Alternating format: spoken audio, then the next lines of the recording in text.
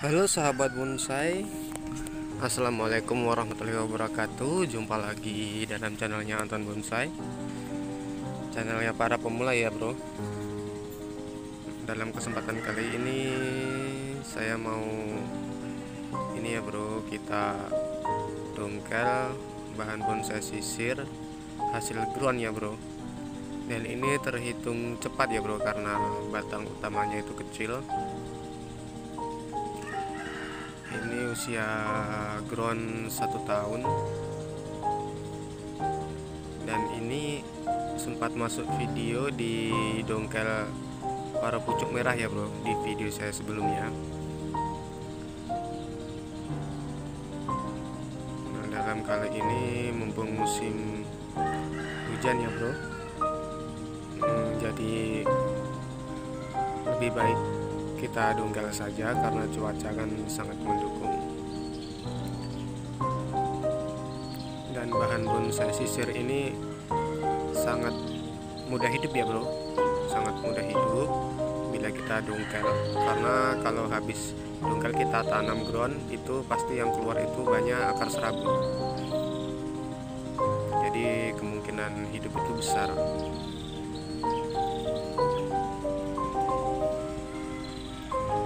Teman-teman sebelum kita lanjut jangan lupa channel ini dengan cara subscribe. Dan saya tunggu komentarnya ya teman-teman. Oke kita langsung dongkel saja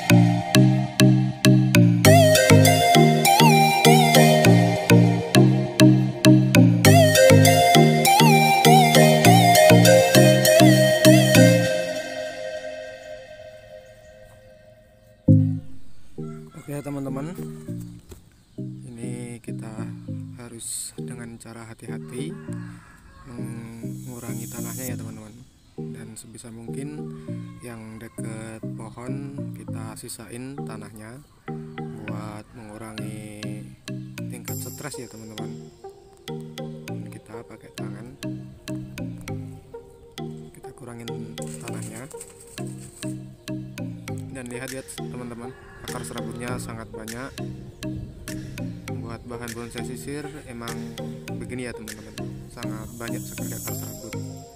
Jadi jangan takut buat mati ya teman-teman karena sebelumnya saya sering dungkel bahan bonsai sisir ini hasil ground ya begini proses prosesnya teman-teman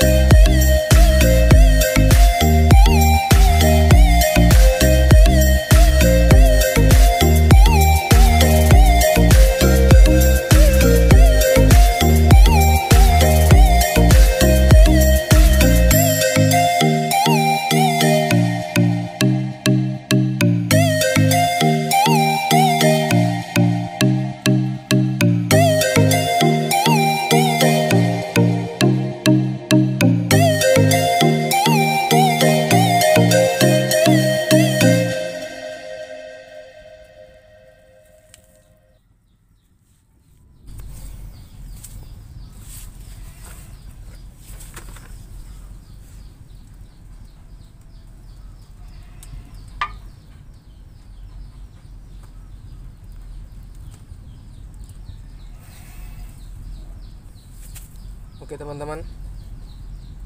Segitu saja video dari saya. Semoga bermanfaat dan menghibur ya teman-teman. Eh, Nanti selanjutnya akan saya tanam di pot. Dan biasanya sisir itu Kalau akar serabutnya masih banyak begini Pasti subur dia. Oke jangan lupa minta dukungannya Subscribe channel ini. Jangan jangan lupa komen ya teman-teman Oke, assalamualaikum warahmatullahi wabarakatuh.